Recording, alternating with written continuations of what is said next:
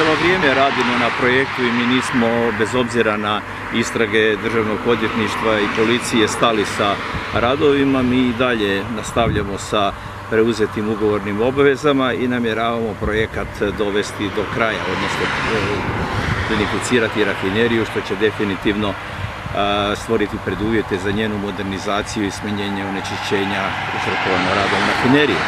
A, a ovi događaji definitivno će i jesu usporili ovaj projekat i usložili ga, mogu slobodno reći, ali vjerujem da ćemo mi uspjeti u ugovorenim rokovima posao i završiti, možda sa nekim malim odgodama, ali uglavnom nastavljamo projekat kao što je ugovoreno. Podsjetite nas malo koji su to rokovi zapravo bili? Pa, bio je, bio je um, rok da će se do konca godine uspostaviti cjevovod za prenamjenu za uh, plinovod i da će se neko, negdje tijekom sljedeće godine započeti sa isporukom plina. Vjerujem da će se ti rokovi ispoštivati, ali moguće je da je da sada u postupku same prenamjene i radova koji nam slijedi, da će možda ishođenje potrebnih e, dokumentacije i dozvola imati možda malo sporiju proceduru.